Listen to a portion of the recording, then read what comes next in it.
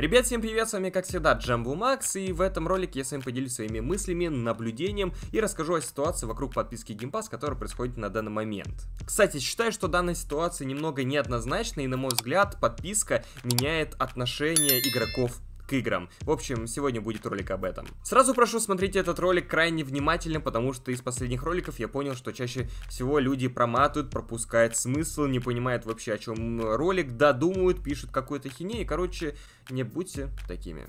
Да. Перед началом видеоролика, как всегда, забирайте подписку Кинопоиск HD по моему промокоду для новых пользователей. С помощью него вы сможете смотреть фильмы, мультики, сериалы целых 60 дней и, самое главное, совершенно бесплатно. К тому же вы получите полный доступ к Яндекс Музыке и к скидкам на сервисы Яндекс. Если что, ссылку на активацию я оставлю, как всегда, в закрепленном комментарии. И давайте начнем. Начнем немножко сдалека. Все вы, наверное, слышали то, что игру Мстители добавят в подписку Game Pass. Уже, кстати, добавили. Если что, я покупал покупал ее за full прайс при дате выхода, и несмотря на общий хейт, мне она понравилась. Да, у нее есть большой минус в плане разнообразия контента, в том числе однотипные задания, но по остальному мне она очень и очень вкатила, поскольку мне нравится вселенная супергероев и нравится beat 'em up, особенно кооперативный. В игре достаточно хорошая графика, физика, освещение, проработка персонажей, так как ты чувствуешь каждого, конечно, может быть анимация не супер, но в целом просто нормальная игруха, которая предоставляет еще и бесплатный контент, который расширяет истории и вводит новых персонажей.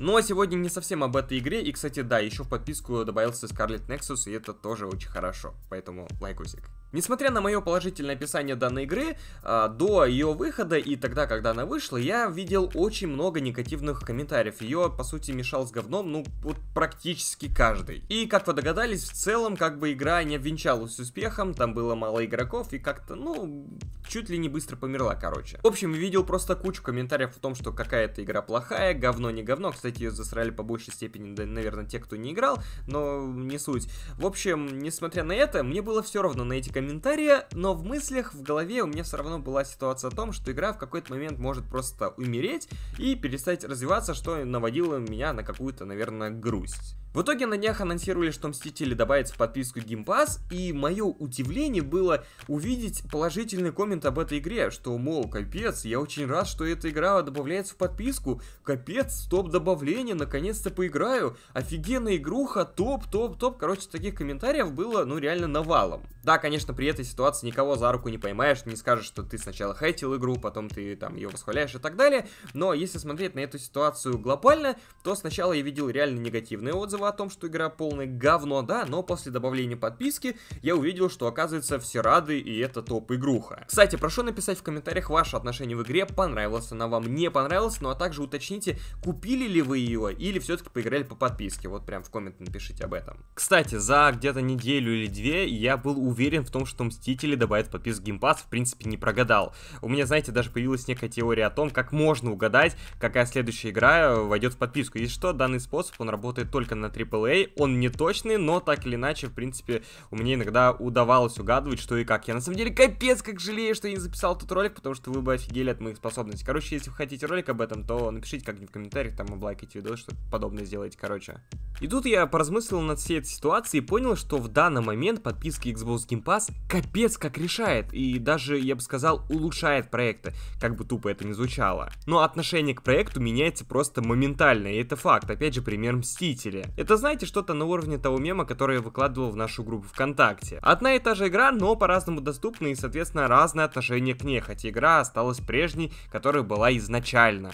Я не знаю, какая судьба будет у этой игры в итоге, окупится, не окупится, понравится она или нет, но уверен в том, что в нее по-любому поиграет очень много пользователей, и для проекта это очень выгодно, поскольку все-таки игра завязана на прокачке и гринде, ибо если она зацепит игроков, то повышается шанс донат в игре, а это капец как выгодно для тех, кто игру создал. Для проекта, который со временем попадает в подписку Game Pass и который не особо получил, наверное, признание, это даже двойная выгода, и сейчас объясню почему. Проект вышел, отчасти продался, получил какие-то деньги, собрал фанатов, даже если и малая часть, но он их собрал. И со временем из-за какой-то неоправдавшейся финансовой надежды попадает в подписку Game Pass. Если не ошибаюсь, Майки все-таки тратит деньги на то, чтобы та или иная игра все-таки добавилась в подписку. И, соответственно, создатели игры получают не только копейку сверху, но еще и сразу же возможность быть доступной огромной аудитории пользователей и в то же время не потерять свою репутацию, а это самое главное. Ибо если бы игра была бы платной, а потом стала бесплатной, ну как минимум будут недовольны те, кто ее купил за full прайс.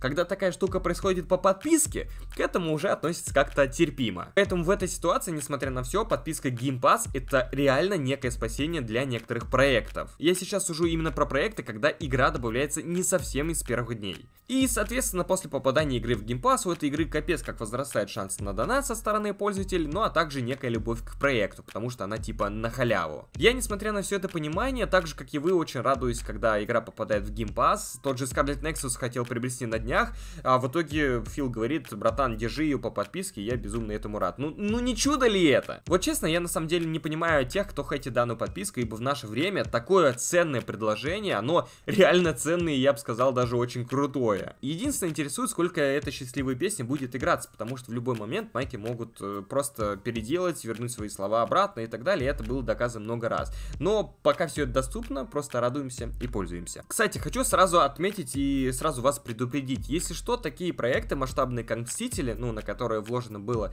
очень много денег, они в какой-то момент могут просто уйти с подписки. То есть они байтят вас на то, чтобы вы немножко качались, все-таки там гринд, прокачки и тому подобное, вы немножко вдонатите игру, да, если по желанию хотите этого, и чтобы продолжить эту игру, когда все-таки уйдет э, тот договор, который есть между там Square Enix и Microsoft, игра покинет подписку, чтобы вас забайтить э, на покупку. Либо там по, скидон, по скидону, либо за full прайс. Поэтому имейте это в виду и, э, так скажем, держите в планах того, чтобы игру такую вот приобрести. Потому что это все-таки не эксклюзив, и он 100% когда-то пропадет. Ну, на мой взгляд. Но в любом случае из этой общей ситуации рады абсолютно все игроки, которые получили игру, и те, кому заплатили денег за игру, и, соответственно, кто-то привел себе подписчиков на сервис, ну, что касаемо Game Pass.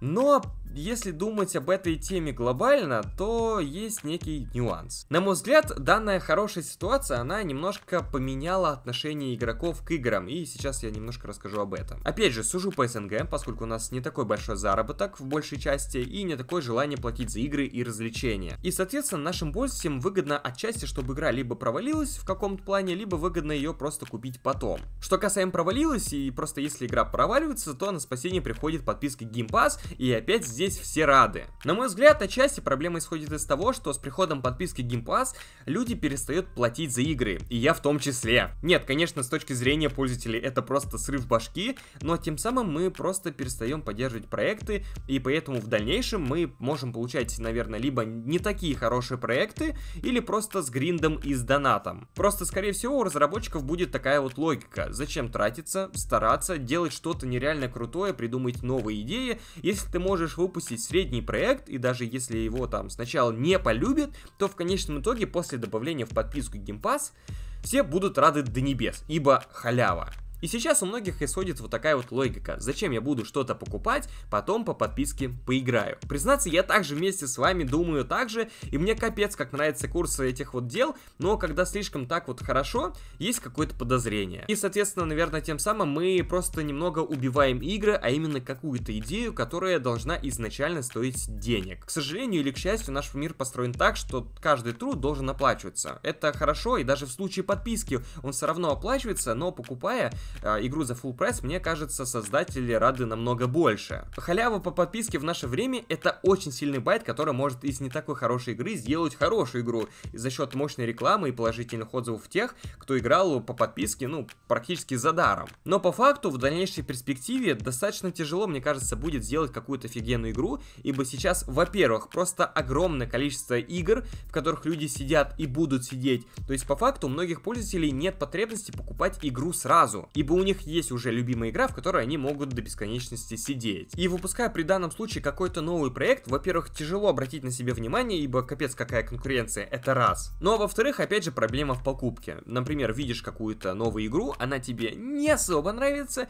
ну значит ты, скорее всего, просто будешь ждать по подписке и не купишь. И именно поэтому мне кажется, что рынок э, в этом плане становится немножко сложнее. Но так как мы лишь всего лишь пользователи, это вообще, по сути, не наша забота и не наша проблема, поэтому мы должны все-таки радоваться этому, что есть такая подписка Game Pass и такая возможность платить мало и получать много. Единственное, я, наверное, хотел бы, чтобы действительно хорошие проекты все-таки появлялись и, соответственно, покупались игроками и находили поддержку без всяких подписок. И чтобы все-таки люди не ждали их по подписке. Ибо в дальнейшем, на, опять же, если смотреть на долгосрочную перспективу, игровая индустрия может скатиться в еще больший донат и в еще меньшее качество самих проектов. В общем, я очень надеюсь, что вы все-таки уловили мой ход мыслей, поэтому пока радуемся, э, юзаем подписку, пока дают, но в то же время не забываем поддерживать проекты, которые действительно очень хорошие и которые действительно требуют внимания, ибо потом, в конечном итоге, если мы их не будем покупать, мне кажется, что они просто растворятся. Поэтому как-то так. Короче, такие вот мысли по этому поводу. Если вам понравилось, обязательно ставьте лайкусик, подписывайтесь на канал и обязательно пишите свое мнение на этот счет. Большое спасибо за просмотр, до новых встреч!